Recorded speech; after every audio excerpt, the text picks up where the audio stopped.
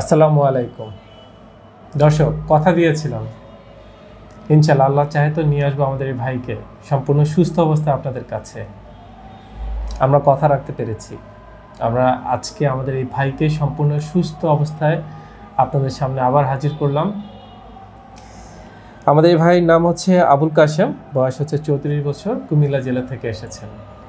কিছুদিন আগে উনি যখন ট্রিটমেন্টরত অবস্থায় ছিলেন, তখন আপনাদের সাথে প্রথম ওনার পরিচয় হয় এবং উনি আপনাদের সামনে এসে তখন ওনার যে কারেন্ট কন্ডিশন ছিল, সেটা উনি বলেছিলেন কি সমস্যা নিয়ে উনি এসেছিলেন এবং ওনার যে ট্রিটমেন্টরত অবস্থায় উনি ছিলেন, সেই বিষয়টা নিয়ে আপনাদের সাথে আলোকপাত করেছিলেন এবং আজকে উনি আবারও এসেছেন আপনাদের সামনে যে উনি তখন আশাবাদ করেছিলেন যে উনি ইনশাল্লাহ অবশ্যই আল্লাহ চাইতে উনি সুস্থ হবেন, ভালো হবেন এবং আজকে উনি সত্যি সত্যি সুস্থ আছেন এবং ভালো আছেন এবং আমাদের সাথেই উনি অবস্থান করছেন। দর্শক আসুন একটু ওনার কাছ থেকে ওনার মুখ থেকে আমরা পুরো বিষয়টা প্রথম থেকে একটু শেষ পর্যন্ত জানি। আসসালামু আলাইকুম। ওয়ালাইকুম আসসালাম। কেমন আছেন স্যার আজকে? আলহামদুলিল্লাহ আল্লাহ পাক অনেক ভালো রাখছে। আলহামদুলিল্লাহ। আমরা বেশ কয়েকদিন আগে আপনার কাছে এসেছিলাম আমাদের পর্ব প্রথম। সেখানে আপনি বলেছিলেন যে আপনার যে পিএলআইডি সমস্যা আপনার এল ফোর এবং এল ফাইভ দুইটা ডিস্ক আপনার ডিস্ক প্রলাপস ছিল। এবং আপনি বিভিন্ন জায়গায় এটার জন্য বিভিন্ন ধরনের ট্রিটমেন্ট করেছিলেন এবং পরবর্তীতে আপনি ডক্টর মোহাম্মদ শফিউল্লাহ প্রধান যিনি বিশিষ্ট বাদ ব্যথা অ্যান্ড পেইন প্যারালাইসিস অ্যান্ড রিয়াফিজ স্পেশালিস্ট ওনার শরণাপন্ন হন এবং ওনার ট্রিটমেন্ট আপনি শুরু করেন। এবং সেই ট্রিটমেন্টরত অবস্থায় প্রথম এবং আজকে শেষ অবস্থা কেমন আছেন? এই তো অনেক ভালো আগের থেকে অনেক ভালো এখন ফিল করতেছি। তো এতদিন তো ছিলাম আগে মানুষের মুখে শুনতাম আর টিভিতে দেখতাম। তো দেখা আর বাস্তবের কাজটা আসলে অনেক ডিফারেন্স তো আইসা আমার তো অনেক ভালোই লাগছে আর আমার যে ব্যথাটা।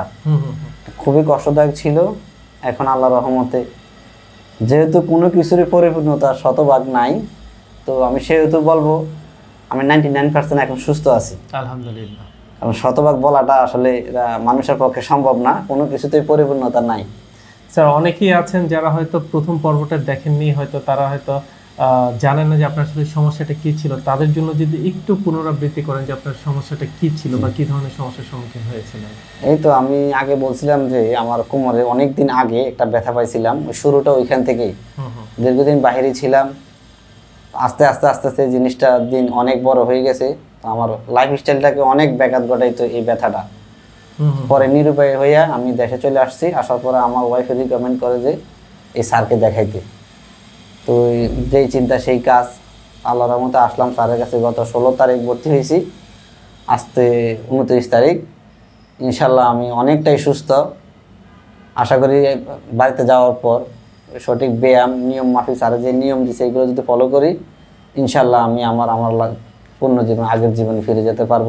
আলহামদুলিল্লাহ। সুস্থ থাকব তার মানে আপনি যে আশা নিয়ে এবং যে সঠিক চিকিৎসার জন্য আপনি এসেছেন সেই ইচ্ছা আপনার পূর্ণ হয়েছে। জি জি জি আলহামদুলিল্লাহ আপনার সিদ্ধান্তটা এবং ভাবের সিদ্ধান্ত অবশ্যই সঠিক ছিল। জি জি জি এটাই। একটা সময় ছিল যখন আপনি অসংখ্য মানুষের ভিডিও আপনি ইউটিউবের মাধ্যমে ফেসবুকের মাধ্যমে আপনি দেখেছেন। আজকে ঠিক একই জায়গাটা আপনি নিজে আছেন। এবং আপনাকে তারা হয়তো দেখছেন এরকম অসংখ্য মানুষ আছেন অসংখ্য ভাই বোন আছেন যারা হয়তো এই ধরনের তীব্র ব্যথা হয়তো যন্ত্রণা এই মুহূর্তে ভুগছেন তাদের জন্য যদি আপনি কিছু বলেন। আসলে এটার অনুভূতিটা আসলে প্রকাশ করার মতো না। তারপরেও বলি যারা এই ব্যথায় ভুগছেন এদিক সেদিক দৌড়াদৌড়ি করে অনেক অর্থ সময় মূল্যবান সময় অর্থ অর্থটা হয়তো আপনি একটু কষ্ট করলেই পাইবেন কিন্তু সময়টা পাওয়া যাবে না। অতএব মূল্যবান সময়টা নষ্ট না করে দ্রুত স্যারের কাছে আসেন দেখেন কি হয় স্যারের কথা শুনেন ট্রিটমেন্ট নেন। ইনশাল্লাহ আমি আশাবাদী আপনারা অনেক উপকৃত হবেন স্যারের মাধ্যমে। আলহামদুলিল্লাহ। দর্শক আমাদের এরকম একজন দুজন না এরকম অসংখ্য অসংখ্য ভাই বোন সবাইকে নিয়ে এসেছি যখন যাকে পারছি যদিও সবাইকে একসাথে এভাবে আনা একটা ফ্রেমের ভিতরে আনা সম্ভব না। তারপর আমরা চেষ্টা করি আপনাদের সামনে এই ছোট ছোট ঘটনাগুলো, ওনাদের এই ছোট ছোট সমস্যাগুলো আপনাদের সামনে তুলে ধরার জন্য, যাতে একই ধরনের এই সমস্যাগুলো আপনাদের জীবনেও না হয়। আপনারা যাতে কখনো বলতে না হয় যে, আমার জীবনে আগে যদি জানা থাকতে, হয়তো এই ভুল চিকিৎসাটা আমার জীবনে হতো না বা এতগুলো সময় হয়তো আমার জীবন থেকে চলে যেত না। এই যে আফসোস করাটা, এই জিনিসটা যাতে কখনো আপনাদের ভিতরে না আসে। অথবা আমার আত্মীয় স্বজন বা আমার যারা বাবা মা আছেন বা কাছের মানুষ আছেন, তারা ভুল চিকিৎসার কারণে বা চিকিৎসার অভাবে বা উন্নত চিকিৎসার অভাবে তারা শেষ পর্যন্ত না চিকিৎসা করেই তারা এই পৃথিবীর থেকে চলে গেছেন। এই যে একটা আফসোস এটা যাতে কারোর জীবনে না আসে সবাই যাতে আমরা সুস্থভাবে ভালোভাবে ব্যথামুক্ত একটা জীবন নিয়ে বাঁচতে পারি আমরা সেই প্রত্যাশা করি সব সময় ধন্যবাদ আপনাদের সকলকে আমাদের সঙ্গে থাকার জন্য। আসসালামু আলাইকুম। আপনাকে অসংখ্য অসংখ্য ধন্যবাদ। আশা করি সারা জীবন আপনি এইভাবে থাকবেন এবং সুস্থ থাকবেন এবং আমাদের সঙ্গেই থাকবেন। ধন্যবাদ। আপনাকে। আসসালামু আলাইকুম।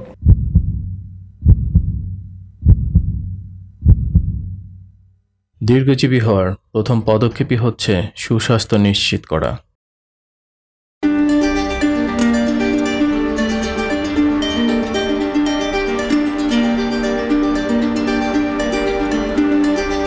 দেহ ও মন ভালো থাকলেই ভালো থাকে স্বাস্থ্য।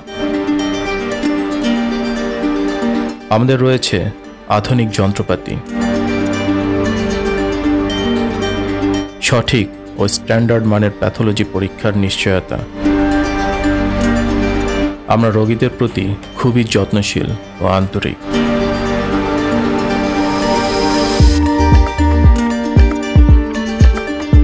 আমরা সর্বপ্রথম প্রতিটি রোগীর সঠিক রোগ নির্ণয় করি, এরপর রোগ অনুযায়ী অপারেশনবিহীন চিকিৎসা দিয়ে থাকি। আমাদের প্রতিটি ডক্টর, নার্স ও থেরাপিস্ট প্রশিক্ষণপ্রাপ্ত ও দক্ষ। আমরা প্যারালাইসিস রোগীদের নতুন করে চলতে শিখাই।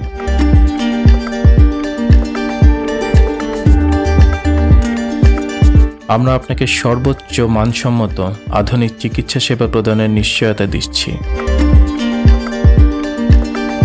আমরা বিশ্বাস করি আপনি এখানে আপনার নিজ পরিবারের মতোই সেবা পাবেন।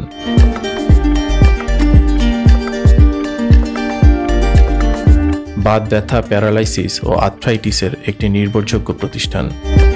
আমরা চাই না আপনারা বারবার আমাদের কাছে ফিরে আসুন।